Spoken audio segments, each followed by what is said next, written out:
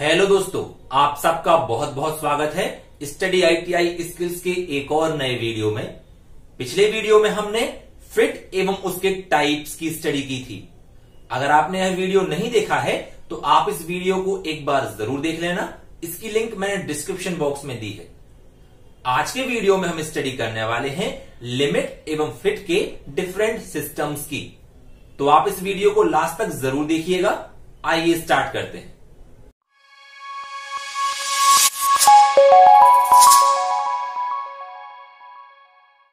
जैसा कि हमने पिछले वीडियो में डिस्कस किया था कि इंजन में सिलेंडर हेड एवं वॉल्व गाइड के बीच इंटरफियरेंस फिट होती है।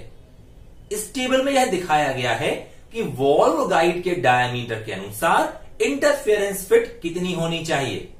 यह डाटा बहुत से एक्सपेरिमेंट्स करने के बाद मिलता है कि कितना क्लियरेंस रखने पर हमारा इंजन बेहतरीन काम करेगा।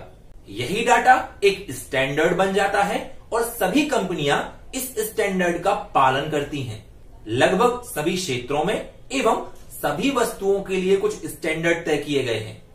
कुछ संस्थाएँ हैं जो इन स्टैंडर्ड को तय करती हैं। जैसे कि आप अपने घर के लिए अगर कोई इलेक्ट्रॉनिक सामान खरीदने जाते हैं तो आपको यह सलाह दी जाती है कि आप आईएसआई मार्क वाला ही सामान खरीदें। आईएसआई मार्क होने का मतलब हुआ कि वह वस्तु एक स्टैंडर्ड को फॉलो करती है। आईएसआई होने का अर्थ है कि वह वस्तु आईएसआई यानी इंडियन स्टैंडर्ड इंस्टीट्यूट के तय स्टैंडर्ड्स के अनुसार बनाई गई है।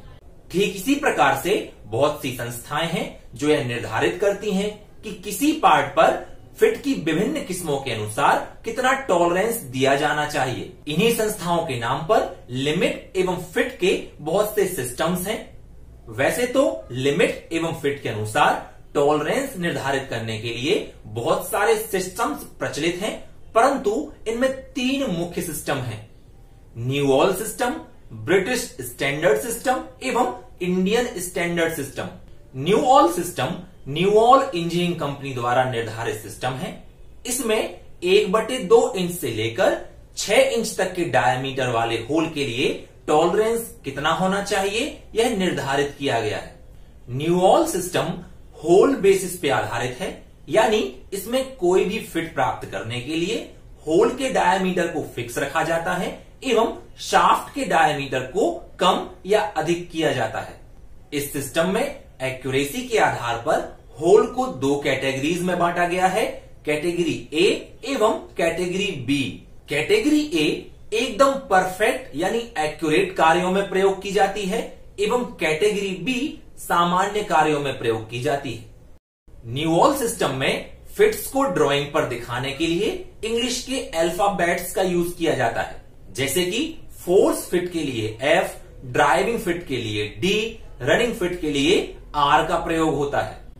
एक्स वाई एवं जेड का प्रयोग क्रमशः easy running fit high speed running fit एवं प्रिसीजन रनिंग फिट के लिए होता है। न्यू ऑल के बाद दूसरा सबसे ज़्यादा प्रयोग होने वाला सिस्टम है ब्रिटिश स्टैंडर्ड सिस्टम इसकी शुरुआत ब्रिटेन में हुई थी।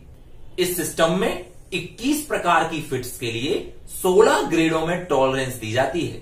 इस सिस्टम में होल को इंग्लिश के कैपिटल लेटर से दर्शाते हैं। इसमें 21 फिट के लिए आई एल ओ क्यू एवं डब्ल्यू को छोड़कर अंग्रेज़ी के बाकी 21 अक्षरों का प्रयोग होता है। शाफ्ट को दर्शाने के लिए इन्हीं अल्फाबेट्स के स्मॉल लेटर का प्रयोग होता है।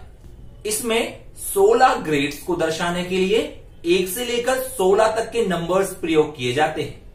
उदाहरण के लिए कैपिटल एच सेवन हमें सेवेंथ ग्रेड की होल के टॉलरेंस को बताता है।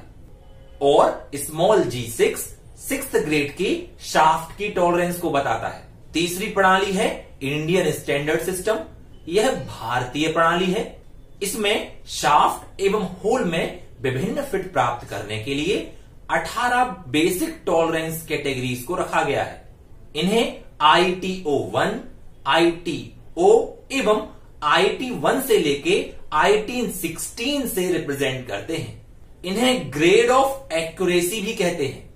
विभिन्न प्रकार की फिट प्राप्त करने के लिए 25 फंडामेंटल डेविएशंस में बांटा गया है। इन्हें अंग्रेज़ी के अक्षरों द्वारा दर्शाया जाता है। होल के लिए कैपिटल लेटर्स एवं शाफ्ट के लिए स्मॉल लेटर्स का यूज़ होता है। जेड ए जेड बी एवं जेड सी अधिकतम क्लियरेंस प्राप्त करने के लिए प्रयोग में लाए जाते हैं। तो ये तीन मुख्य प्रणालियाँ हैं, जिनका प्रयोग डिफरेंट फिट के अनुसार टॉलरेंस को निर्धारित करने में होता है। आगे बढ़ने से पहले आप सबसे एक रिक्वेस्ट है कि आप हमारे इस वीडियो को लाइक ज़रूर कर दें और कमेंट बॉक्स में कमेंट करके हमें बताएँ कि आपको यह वीडियो कैसा लगा। और अगर आपने अभी तक हमारे चैनल को सब्सक्राइब नहीं किया है तो प्लीज़ इसे सब्सक्राइब कर लें। नेक्स्ट वीडियो में हम फिट के लिए अलाउंस देने की सिस्टम की स्टडी करेंगे। तो मिलते हैं नेक्स्ट वीडियो में। पढ़ते रहिए और देखते रहिए स्टडी आईटीआई स्किल्स जय हिंद।